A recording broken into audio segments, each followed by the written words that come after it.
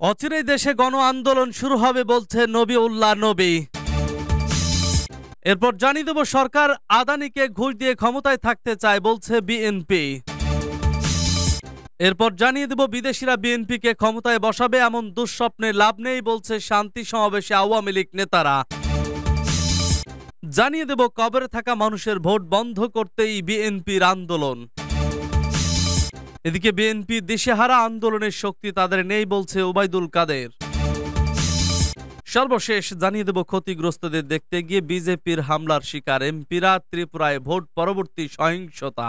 শুনছিলেন সংবাদ শিরোনাম, এখন বিস্তারিত। তবে তার আগে অনুরোধ থাকবে, ভিডিওটিতে একটি লাইক এবং কমেন্টস করে জানিয়ে দিন, আজকের এই ভিডিও সম্পর্কে আপনার মূল্যবান মতামত। অচিরেই দেশে গণ আন্দোলন শুরু হবে বলছে নবীউল্লাহ নবী। রাজধানী যাত্রাবাড়িতে ঢাকা মহানগর দক্ষিণ বিএনপির বিশাল এক মানববন্ধন অনুষ্ঠিত হয়েছে। দেশনেত্রী বেগম খালেদা জিয়ার মুক্তি নেতা কর্মীদের বিরুদ্ধে দায়ের করা সকল মামলা, প্রত্যাহার দ্রব্যমূল্যের ঊর্ধ্বগতি ঠেকানো গণতন্ত্র পুনরুদ্ধার সহ দশ দফা দাবির যুগপথ আন্দোলনের দলীয় কর্মসূচি অংশ হিসেবে আজ শনিবার এ মানববন্ধন পালিত হয়। ঢাকা মহানগর দক্ষিণ বিএনপি সিনিয়র যুগ্ম আহ্বায়ক নবীউল্লাহ নবীর সভাপতিত্বে যাত্রাবাড়ি থানা বিএনপির এবং এর অঙ্গ ও সহযোগী সংগঠনের বিপুল সংখ্যক নেতাকর্মী এতে অংশগ্রহণ করেন। এ সময় নবীউল্লাহ নবী বলেন, আমরা বাংলাদেশকে একটি গণতান্ত্রিক দেশ হিসেবে দেখতে চাই, যেখানে রাষ্ট্র ক্ষমতায় থাকবে জনগণের ভোটের সরকার। আজকে দেশের প্রতিটি সেক্টরে অস্থিরতা কোথাও মানুষের স্বস্তি নেই। ভোটবিহীন এই সরকারের আমলে মানুষ ভালো নেই, তাই জনগণ তাদের প্রতি অনাস্থা জানাচ্ছে। অচিরেই দেশে গণ আন্দোলন শুরু হবে। তখন কোনো কিছু দিয়েই এই সরকার আর ক্ষমতায় টিকে থাকতে পারবে না। এ সময় আরও বক্তব্য রাখেন বিএনপি চেয়ারপারসনের বিশেষ সহকারী অ্যাডভোকেট শামসুর রহমান, শিমুল বিশ্বাস, বিএনপির বাণিজ্য বিষয়ক সম্পাদক সালাউদ্দিন আহমেদ, বিএনপির নির্বাহী কমিটির সদস্য আকমা মুজাম্মিল হক, মহানগর দক্ষিণ বিএনপির যুগ্ম আহ্বায়ক আরমজ সাইফুল ইসলাম ও তানভীর আহমেদ রবিন প্রমুখ। এদিকে আজ দুপুরে নয়পল্টনে বিএনপির কেন্দ্রীয় কার্যালয়ের সামনে অনুষ্ঠিত মানববন্ধনে চলমান আন্দোলনের নতুন কর্মসূচি হিসেবে আগামী আঠারোই মার্চ সারা দেশের সব মহানগরে প্রতিবাদ কর্মসূচি ঘোষণা করেছেন। বিএনপির মহাসচিব মির্জা ফখরুল ইসলাম আলমগীর।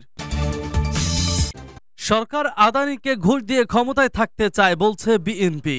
ক্ষমতাসীন আওয়ামী লীগ সরকার আদানিকে ঘুষ দিয়ে আবারও ক্ষমতায় থাকতে চায় বলে দাবি করেছেন বিএনপির মহাসচিব মির্জা ফখরুল ইসলাম আলমগীর। তিনি বলেন, দেশের মানুষ সোচ্চার হয়েছে, প্রতিবাদ করছে, আদানির সঙ্গে যে বিদ্যুৎ চুক্তি হয়েছে, এটা বাংলাদেশের স্বার্থের বিরোধী চুক্তি। আমরা প্রকাশ্য বিবৃতি দিয়ে বলেছি, এই চুক্তি কোনো মতেই বাংলাদেশের পক্ষে যেতে পারে না। সেটা দেশের মানুষের ক্ষতি করবে। বিদেশে থেকেও প্রশ্ন করা হচ্ছে, কীভাবে বাংলাদেশের সরকার এ চুক্তি সই করল? চুক্তি করেছে এজন্য তার স্বার্থে তারা ক্ষমতায় টিকে থাকতে চায়। ঘুষ দিয়ে ক্ষমতায় টিকে থাকতে চায়। শনিবার দুপুরে নয়াপল্টন বিএনপির কেন্দ্রীয় কার্যালয়ের সামনে এক মানববন্ধনে প্রধান অতিথির বক্তব্যে এসব কথা বলেন মির্জা ফখরুল ইসলাম আলমগীর। বিদ্যুৎ, চাল, ডাল, তেল, কৃষি উপকরণ ও শিক্ষা উপকরণ সহ নিত্য প্রয়োজনীয় দ্রব্যমূল্যের ঊর্ধ্বগতির প্রতিবাদে এবং বর্তমান সংসদ বিলুপ্ত করে নির্দলীয় নিরপেক্ষ সরকারের অধীনে নির্বাচন ও বেগম খালেদা জিয়ার নিঃশর্ত মুক্তি সহ দশ দফা দাবি আদায়ের উদ্দেশ্যে এ মানববন্ধন করবে বিএনপি মির্জা ফখরুল বলেন, সরকার কতটা দেউলিয়া হয়ে গেছে, কতটা দুর্নীতি করেছে যে পঞ্চাশ মেগাওয়াট বিদ্যুৎ পরীক্ষামূলকভাবে আদানির কাছ থেকে নেওয়া শুরু করেছে। এদেশের মানুষকে উপেক্ষা করে তাদের ন্যায়সঙ্গত অধিকার থেকে বঞ্চিত করে পকেট কেটে নিজেদের রক্ষায় টাকার পাহাড় বানাতে চায়। ক্ষমতায় টিকে থাকতে চায়, কিন্তু এদেশের মানুষ সেটা আর কখনো হতে দেবে না। আওয়ামী লীগের আবারও খায়েশ হয়েছে। একচল্লিশ সাল পর্যন্ত ক্ষমতায় থাকবে বলে মন্তব্য করে মির্জা ফখরুল বলেন, সেই ব্লু প্রিন্ট নিয়ে তারা চব্বিশ সালে নির্বাচন করতে চায়। দুই হাজার চোদ্দ, দুই সালের একই কায়দায়। কেন? তাদের আজীবন ক্ষমতায় থাকতে হবে। এ দেশটা হচ্ছে তাদের জমিদারি। আমরা সবাই প্রজা। প্রধানমন্ত্রী আজ আমাদের সঙ্গে প্রতারণা শুরু করেছেন। তিনি আরও বলেন, সরকারের দুই, তিনজন মন্ত্রী কথা বলতে শুরু করেছে। বিএনপি ভয় পায়, নির্বাচন করবে। পরিষ্কার ভাষায় বলে দিতে চাই, বিএনপি, শেখ হাসিনা সরকার ও এ বিএন নির্বাচন কমিশনের অধীনে কোনো নির্বাচন করবে না।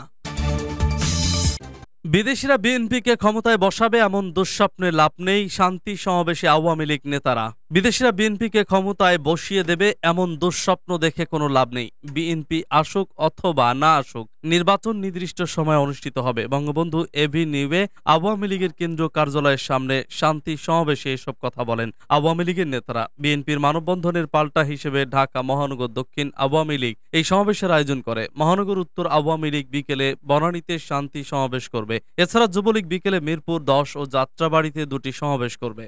সকালে দক্ষিণের সমাবেশে আওয়ামী লীগের সভাপতি মণ্ডলী সদস্য কামরুল ইসলাম বলেন, বিএনপির বিভিন্ন দাবি নিয়ে চুয়ান্ন দল নিয়ে সরকারের বিরুদ্ধে আন্দোলন করছে।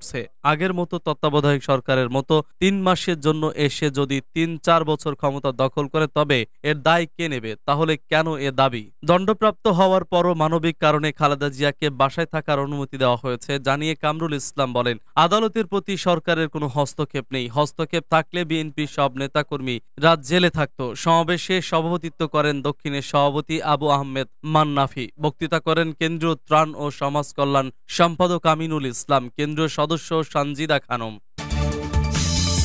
কবরে থাকা মানুষের ভোট বন্ধ করতেই বিএনপির আন্দোলন। বিএনপি এদেশের মানুষের ভোটাধিকার প্রতিষ্ঠা করার জন্য আন্দোলন করছে বলে মন্তব্য করেছেন দলটির চেয়ারপারসনের উপদেষ্টা জয়নুল আবেদিন ফারুক। তিনি বলেছেন, আমাদের আন্দোলন তারেক জিয়াকে প্রধানমন্ত্রী করার জন্য নয়, আমাদের আন্দোলন এদেশের মানুষের ভোটাধিকার প্রতিষ্ঠার জন্য, আমাদের আন্দোলন কবর থেকে উঠে আসা মানুষের ভোট বন্ধ করার জন্য। শনিবার কুমিল্লা নগরীর কান্দিরপাড় বিএনপি কার্যালয়ের সামনে আয়োজিত মানববন্ধন কর্মসূচিতে তিনি এসব কথা বলেন। বিদ্যুতের অস্বাভাবিক মূল্য বৃদ্ধি চাল, ডাল, তেল, কৃষি উপকরণ, শিক্ষা উপকরণ সহ নিত্য প্রয়োজনীয় পণ্যের মূল্যবৃদ্ধির প্রতিবাদে এবং বর্তমান সংসদ বিলুপ্ত করে নির্দলীয় নিরপেক্ষ সরকারের অধীনে নির্বাচন ও বিএনপির চেয়ারপারসন খালেদা জিয়ার নিঃশর্তে মুক্তিসহ দশ দফা দাবি আদায়ের লক্ষ্যে সকাল এগারোটা থেকে বেলা বারোটা পর্যন্ত এই মানববন্ধন কর্মসূচি পালন করে বিএনপি।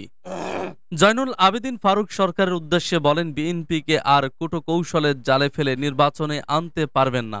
এখনও সময় আছে আইন সংশোধন করে তত্ত্বাবধায়ক সরকারের বিল পাশ করে সংসদ বিলুপ্ত করে ক্ষমতা